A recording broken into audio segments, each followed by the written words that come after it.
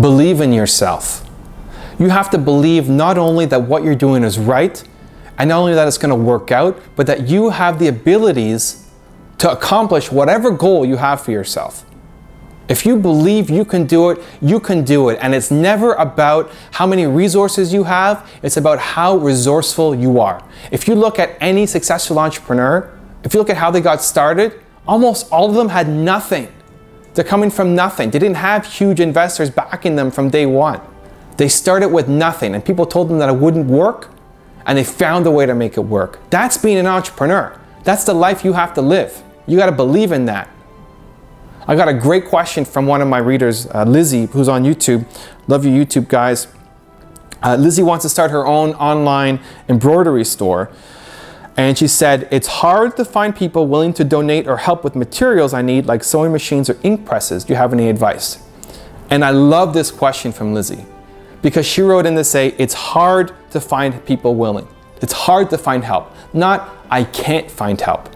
And that subtle change means everything. Yeah, it's hard, but it's still possible. And if you believe that it's possible, then it will happen. You just have to go and do it.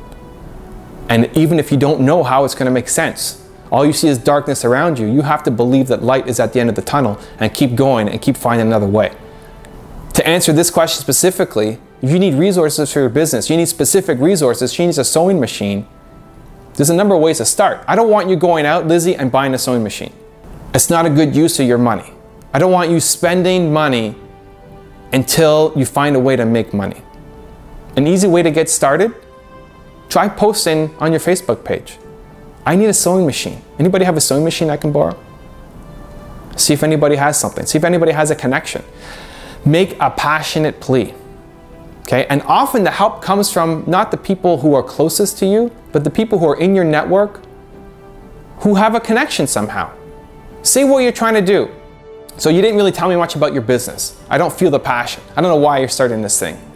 I want to feel that from you. If when you're asking for help, you want to make me feel something. When you're asking somebody to buy something from you, you want to make them feel something. You're not just selling embroidered clothing. You're doing something much bigger. Share that vision with me. Make me feel it. Then I want to help you. Then I want to buy from you. Then I want to tell people about you. Okay, so that's your first step is come up with that passionate plea Post it on Facebook. Ask for help. Tell people what you need. If you still can't find anybody, then I go and try to find a company who has these things. Not the, not, the, not the sellers, not the guys who are selling sewing machines, but another manufacturer, somebody small. Because these machines probably not being used 24 hours a day. And I try to find the way to to go in and use their machines, either for free at a really or at a really low cost. And again, to make that work, you have to have your passionate plea that the entrepreneur can buy into. You want to talk to the owner of that business, ideally it's a small business, and they get your story.